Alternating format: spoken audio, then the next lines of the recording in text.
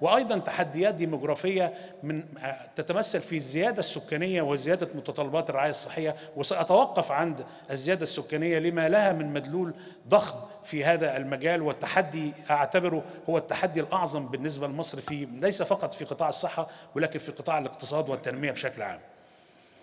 فإذا تكلمنا على الزيادة السكانية على سبيل المثال نتصور إن 1 يونيو الماضي منذ أيام قليلة ماضية وصل التعداد السكاني طبقا للجهاز المركزي للتعبئه العامة والإحصاء إلى 105 مليون نسمة. مثال بسيط على رقم بسيط نحفظه كلنا مصر كل 24 ساعة بيتولد فيها 5683 طفل جديد. إذا إحنا بنتكلم على مولود كل 15 ثانية وأربعة مولود كل دقيقة. هذا تحدي ضخم ليه؟ إذا أخذنا بلغة الأرقام لو اعتبرنا أن كل يوم وسبعة من عشرة من اليوم الثاني يعني أقل من يومين يعني في حدود 40 ساعة. في أقل من 40 ساعة بيتولد 10000 طفل جديد. أنا هركز على ال 10000 طفل دول بيكلفوا الدولة المصرية قد إيه يوميا؟ أنا مش بتكلم على سنويا.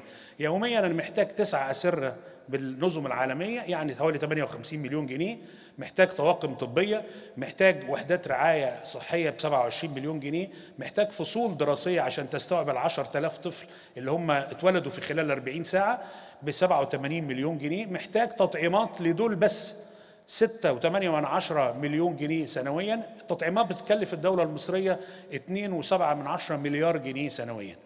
أنا بحاول في خلال كلامي أقول هل الصحة أرجع للسؤال الأول هل الصحة كانت من ضمن الأولويات الضخمة للدولة المصرية منذ 2014 إلى النهاردة ولا كان في مشاريع تانية كانت واخدة حظ أكتر ولا وده اللي إحنا هنشوفه من خلال الأرقام محتاجين فصول في مدارس محتاجين فصول في جامعات يبقى إذا إحنا بنتكلم على كم من المليارات التي يجب أن تتوفر على مدار اليوم الواحد إذا بس اعتبرنا التعامل مع الزيادة السكانية اليومية. لكن ليس كل الأطفال بيتولدوا أصحاء.